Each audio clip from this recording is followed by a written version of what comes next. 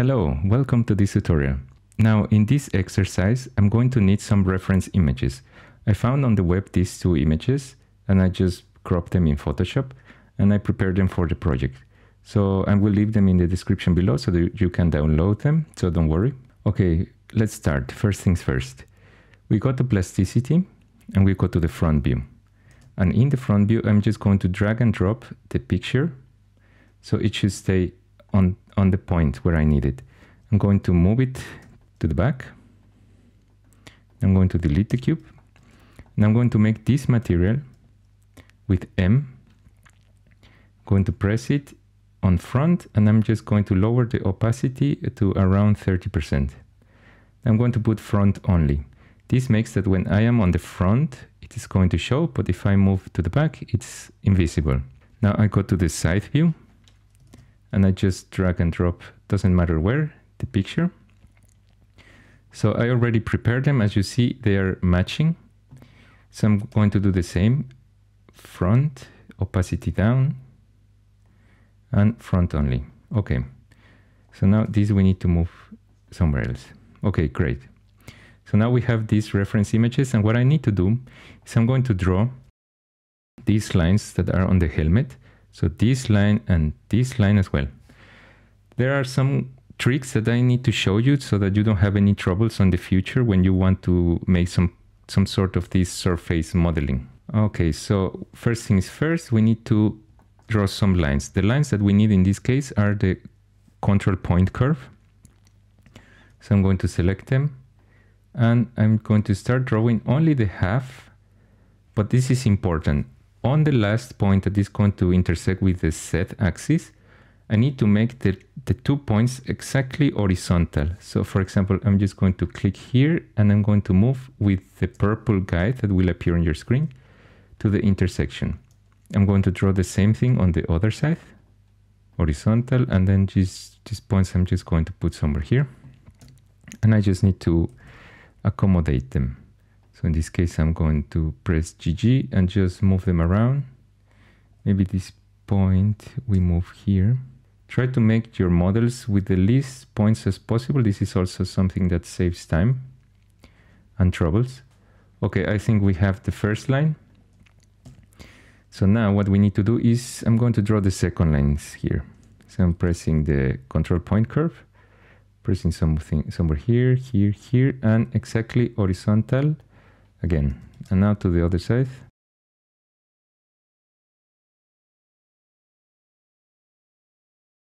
So we have these lines already. Maybe this a bit above. Okay, something like this doesn't need to be perfect for this tutorial. Just that you just that you see how it's done, or how I did it. Okay. Now these two lines are in the center, so I need to move them to the vertex or to the edge side of the helmet. So to this point here, what we need to do is we just need to make them curve or follow the curvature, this curvature here, the inside. So I'm grabbing these points and these ones too. So you have the lines like this. You see that they're a bit wobbly, but it is okay. Okay, what is next? Now, there is the line that we need is this one. So I'm going to draw another control point curve. So I'm drawing this line somewhere so.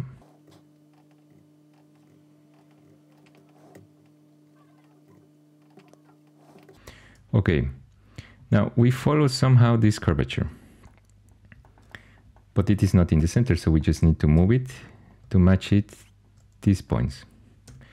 So it is important that you see that these vertex are green. This means that they are overlapping. So this is good. This is what we need. So now that we have all these lines, we need to connect the lowest part of the of the curvatures. But if we just do it like this, you will see that it's going to make a problem because these lines are not finishing on the same level. It is important that they are horizontal, touching the floor, each and one of them. So it's relatively simple. We just scale them on the set and press zero. And now they're completely flat. So the trick I want to show you will solve you a lot of troubles. It's just a matter of connecting these points with guide with guidelines. So you will understand when you see. You press Shift A to create a line and you just draw it from this curve to the back. So you see it's, it's drawing perpendicular in the direction that we just want. We draw another line to the back from here to the back. I'm, I'm guiding myself with the purple guides. So now from here, what I need to do is I'm going to select this line, this line, and these two lines and hide everything else with Shift H. So from here, it's relatively simple. We go to the vertex and select these two vertices and press L to bridge. I want to tap, tap so that everything is in G0. And from here, we can know which line needs to be in G1. So if we press G1, you see that this one goes down and this is incorrect. So, okay, we need to go to the other one. And you see that it's drawing horizontal, exactly in the direction that we need. And this is going to solve a lot of troubles later. And I'm going to select these two vertices in the back, tap tap for G0, and I'm going to check which one this one goes in the other direction. This is incorrect. And this one goes correct. So it, I'm going to accept. So now we need to draw the same but with the line that is here in the middle. So for this, I'm going to select a line and draw it to the back like this. And from here we do the same. Select this line, hide everything else, and we just connect them with L tap tap G0. This one goes way out of the tangent. This is not correct. And this one connects exactly how we need. Okay, so what we need to do here is exactly the same thing. We grab this line and this line. And I'm going to press Shift H to hide everything else and draw a line that goes from here to the back. And this one and this one, I'm going to bridge. So tap zero. So once you draw the line, you will see that this we don't need anymore. And we have everything connected. This you don't need to worry about because we were going to cut up to here. So it doesn't matter. That's why we did it longer. Okay, this line we also don't need and this line we also don't need. So we have all these lines. What we need to do now is we are going to connect these two so that we have this curvature here. So we do exactly the same process. We come here, we draw the line. From here to here, we hide everything else and just bridge them and check we need. Okay, so this one is not correct because it goes way above this line. So it needs to be this line. And if it's correct, it should be drawn perfect. Okay, it matches. Okay, so now we have basically the skeleton of the helmet. This is what we need for. This is what we need. Okay, so now let's, we need to make the patches. So now we need to select these two lines, extrude them to the back. And what we need is uh, to hide these two lines and select this, this, this, and this, and patch it. Now we want G1. Now we need to do the same on the other side. But for this, we need to join these two sheets when it is important that you join them.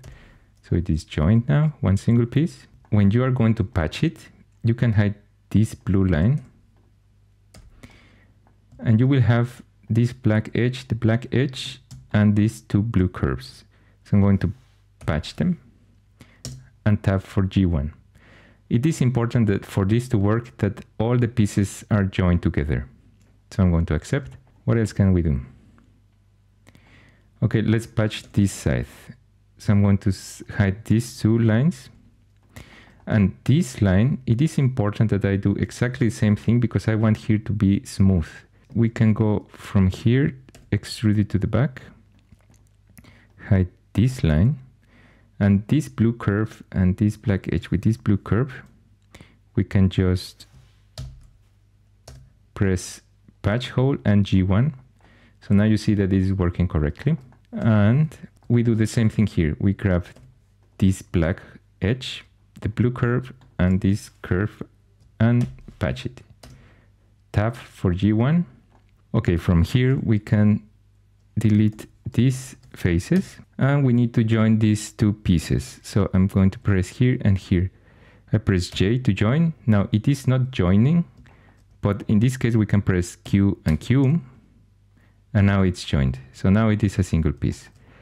So now we can just mirror it and join it. Okay, perfect. So how does it look? It looks smooth where it needs to be smooth and harsh, hard when it needs to be. Great. So what else can we do?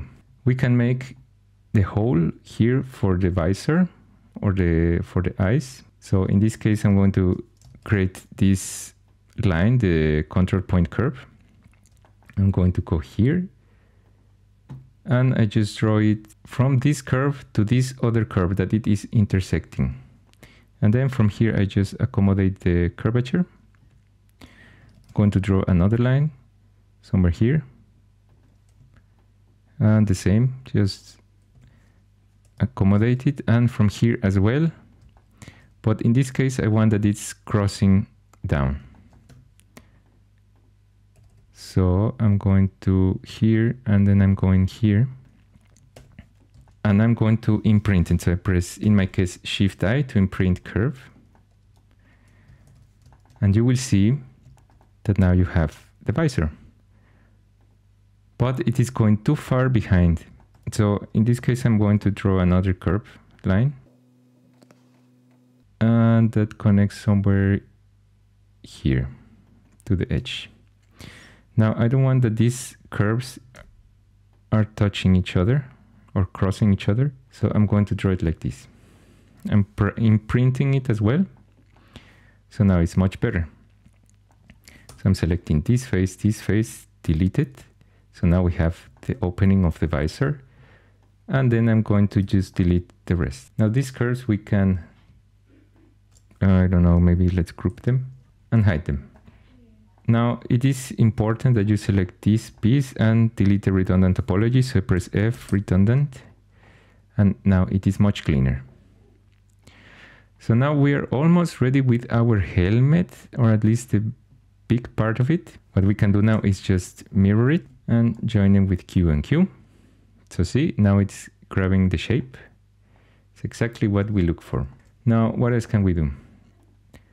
I'm going to give the volume of the helmet. So for this, I'm going to shift D to duplicate it and scale it. So I'm just scaling it somewhere like this. Okay. I think this reference image we don't want to see for the moment. So what can we do now is just grab all these lines and all these lines with Alt or Option and press L to loft in G0 and then we just need to join everything. So now it is a solid. It's perfect for what we need for. It's looking quite good. So what else can we do? So I think I will continue with the ears. So for this thing, I go to the front view. I draw a circle somewhere here in the middle and I press V to draw it on the other direction somewhere here. Okay. Now I'm going to offset the face with three. I go like this. And on the front view, I'm going to, on the with the white circle, I'm going to scale it somehow at the same size, like the kite. And we just move it here to the right, just to match a bit. Now I don't like it that it is going quite straight, so I'm going to rotate it a bit. So, for example, that it somehow follows the, the, the curvature.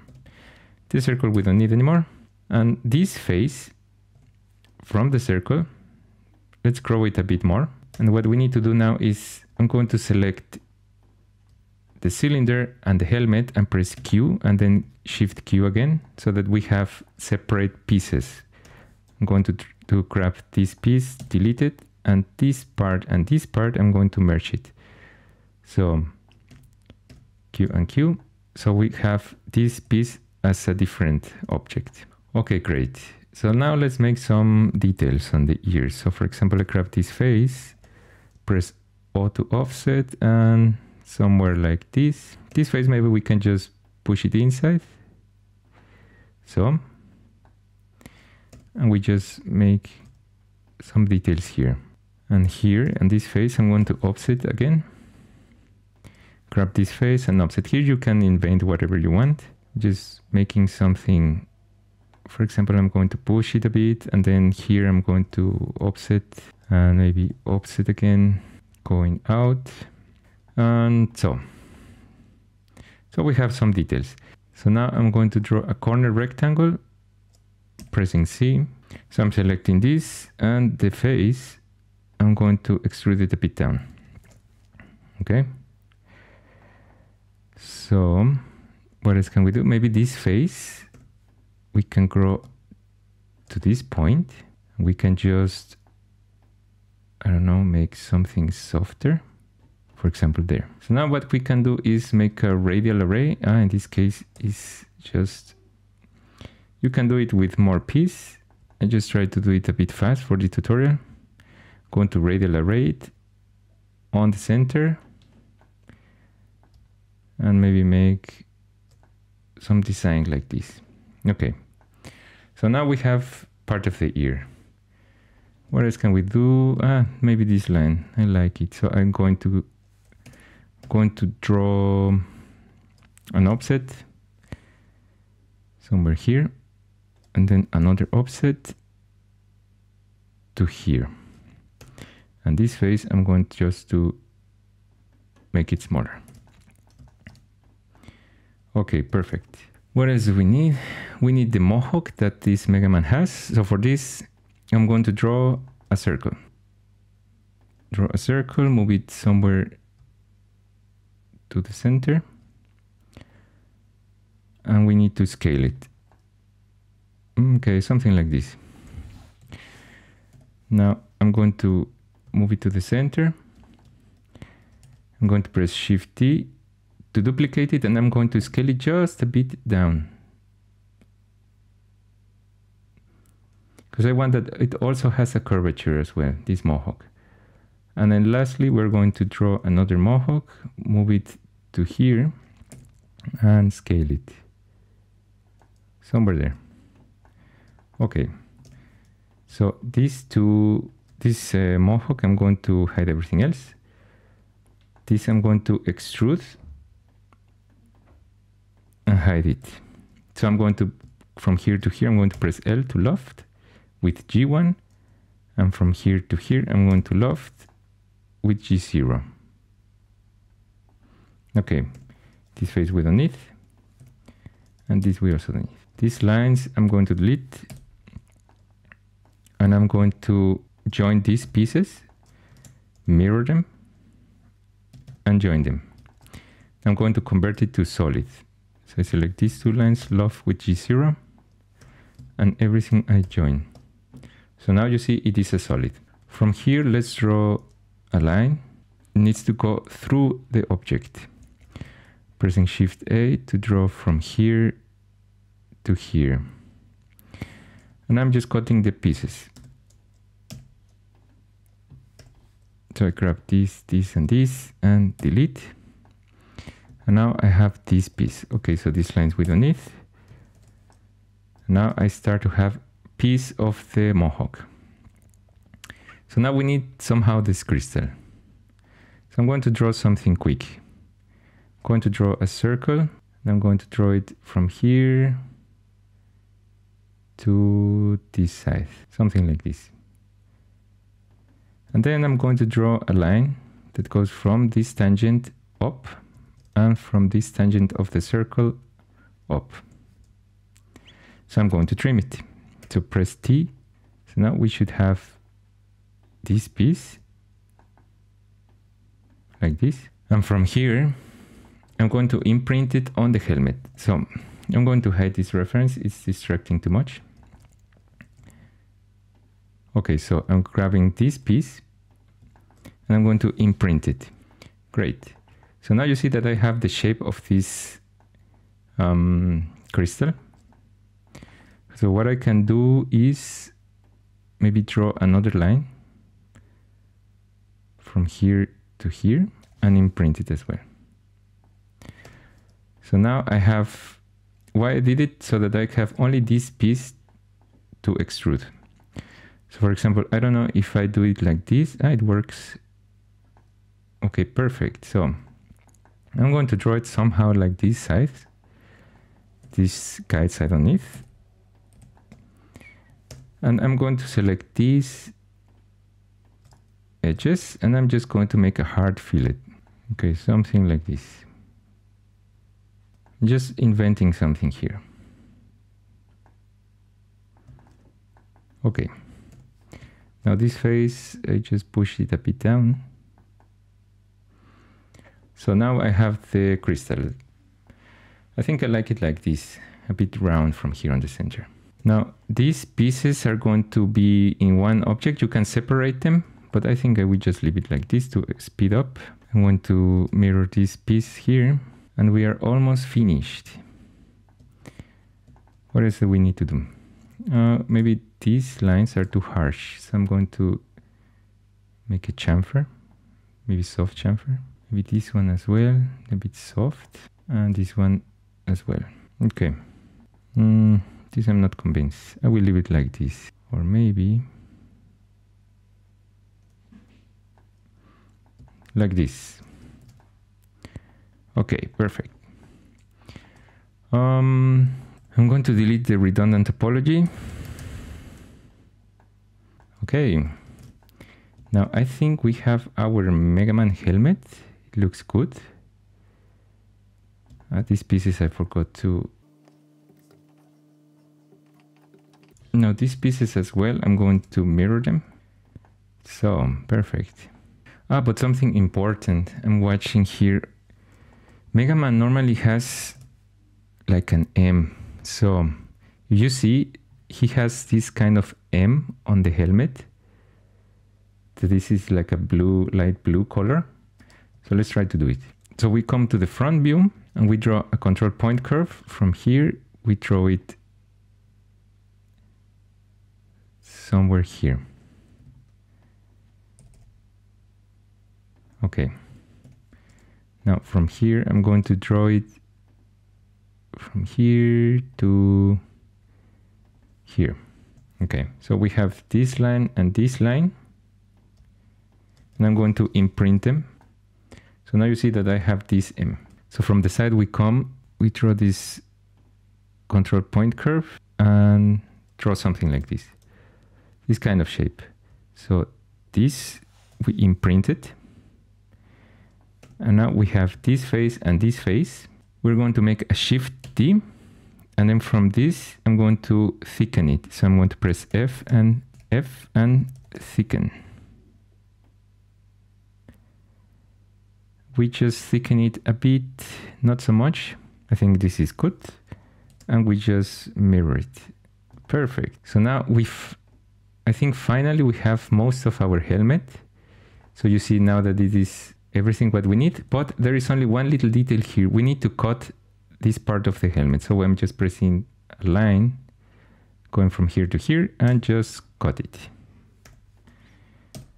So, and this piece too. So I'm cutting it here.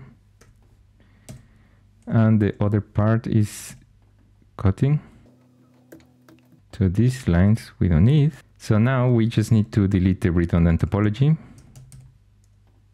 So we are almost finished. There is only this little detail that we have to deal with. So either we leave it here, but let's try to fix it. So we press here and here, Q and Shift Q to see if it's deleting this piece inside. And yes, it is deleted. We just merge these two and we have it there. Now we have our Super Mega Man helmet. I like it. I think we just need to go now to Blender make some materials, some lights, the same thing as usual, and we are done.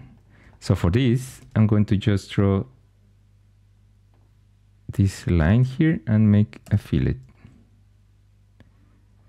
So this is going to help the illumination process. And I'm going to select this line, extrude it, and move it in the middle. So there we have it. We have our helmet. Now we, we need to go to Blender. Okay, so now we are in Blender. What we need to do is delete the cube and we just connect it to plasticity. So I'm going to refresh the connection. Great.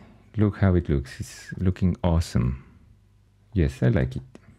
Okay, so we need to add some material. So for this, I'm going to just change it to cycles and GPU. And I'm going to make my lights. The same lights I always use. So I'm going just to make a quick lightning rig with area. A light here. I'm going to make it, I don't know, 200. Yes, something like this. Now one on the side. And just another one on the other side. See, now it's getting a bit of contrast. Okay, what else do we need? Maybe let's make the materials. So for example, I grab this new material and make it Mega Man blue. Yeah, I think so. Now it needs to be more metallic. And let's make something here on this one. Let's make this new material and make it a blue Mega Man, but clear. Yeah, maybe a bit lighter. Okay, so metallic. And we do the same for this side, so I'm just linking the materials. For this one, I'm going to as, as well link the materials.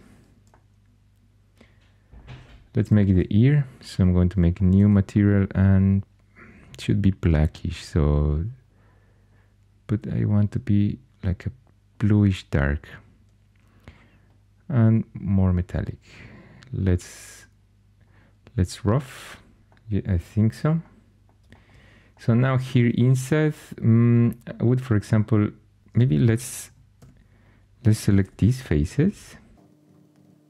Yes and just make a new material. I don't know let's make it uh, red. Maybe it also gives some light. So Mega Man is on okay. These ones these ones I'm going to select the material red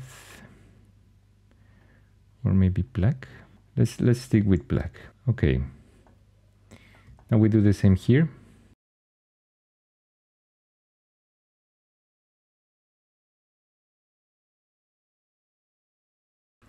And I'm just going to assign them the red material. Okay, so it's almost finished. Now we just need to color the, the gem here on the front, in the front. And I think we are done. Now we could have just separated this object in plasticity, but I wanted to be a bit faster. So let's do it like this. Okay, and I just assign this new material, the red gem.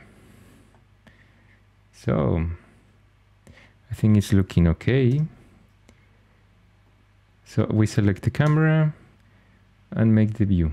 That's how we want it. So camera to view.